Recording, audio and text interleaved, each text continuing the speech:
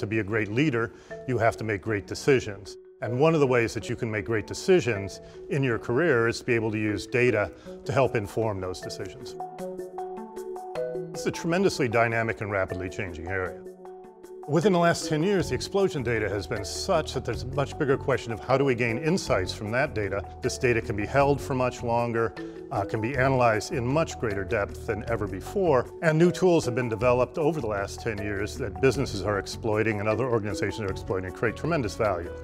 Using data and business analytics to make decisions is one of the tools you're going to need in your arsenal in order to be a great leader at any organization. And when you gain tremendous insights that you can make actionable and make better decisions, you can gain that advantage over your competitors. We teach how do you look at data and gain insights from the data? How can we make the right decisions? The decisions that support what we want to do, what our organization wants to do. How do you actually overcome the obstacles that sometimes occur when you try to institute a business analytics discipline within an organization. How can you use business analytics to drive real business value by changing the way a company does business?